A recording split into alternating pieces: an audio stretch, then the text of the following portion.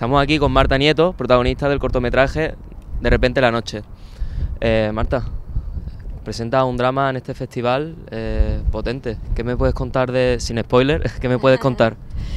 Pues eh, es una historia muy interesante y yo creo que tiene una complejidad suficiente como para plantearnos ciertas cosas que están bastante de moda ahora o en boca de todos, que tienen que ver con el feminismo, con la igualdad y con cómo de manera sutil podemos caer en comportamientos, bueno, machistas.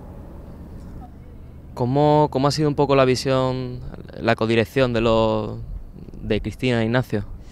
Pues se compenetran fenomenal, la verdad. Eh, entiendo que entre ellos tienen un código bastante sencillo en el que llegan a acuerdos claros. Las directrices conmigo siempre han sido muy claras y muy proactivas para mejorar pues, todo lo que tiene que ver con la interpretación y con las posibilidades que tiene una actriz de, aportar cosas. Ha sido un lujo. Me alegro. Eh, tu personaje es un personaje complicado. ¿Qué, qué, qué nos puedes contar de Elena? Bueno, pues eso, eh, es un personaje poliédrico que tiene muchas caras, que le pasan diferentes cosas y mi sensación es que por el apego a, un deseo, a un amor, a una forma de ser de manera inconsciente, pues es capaz de sacrificar y de pasar por encima de ella muchas otras cosas que al final se revelan imposibles. eh, imagino que el rodaje habrá, habrá sido complicado. ¿Qué, qué, qué has podido poner de ti como actriz y como persona en el personaje?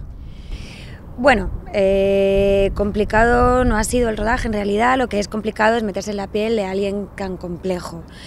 Y en ese caso, bueno, pues eh, los terrenos de la interpretación ya sabes que son un poco farragosos de explicar a veces, pero ha sido muy placentero precisamente por, por, por, la capacidad y por la oportunidad que te da de explorar varios aspectos de una personalidad tan distinta a la mía en realidad y con unas circunstancias tan distintas.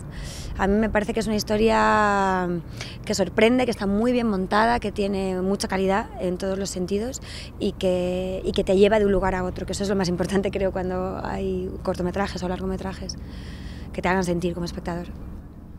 ¿Qué tal ha sido trabajar con el resto del elenco? Pues maravilloso, Cristóbal Suárez es maravilloso, Valeria es increíble, eh, la, que, la actriz que hace de nuestra hija.